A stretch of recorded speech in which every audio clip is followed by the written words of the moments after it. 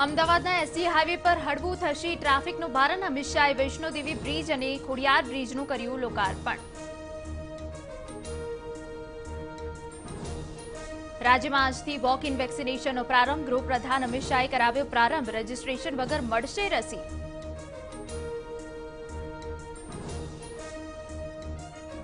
રૂપાણી સરકારના કેબિનેટનું વિસ્તરણ નહીં થાય. પ્રધાનમંડળ વિસ્તરણની વાતને સીએમ રૂપાણીએ ફગાવી.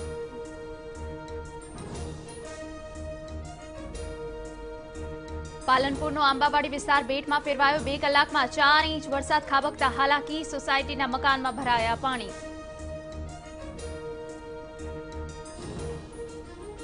ઉત્તર ભારતના અનેક રાજ્યોમાં ભારે વરસાદ. ઉત્તરાખંડમાં ભૂસ્ખલન થવાની ભીતિ.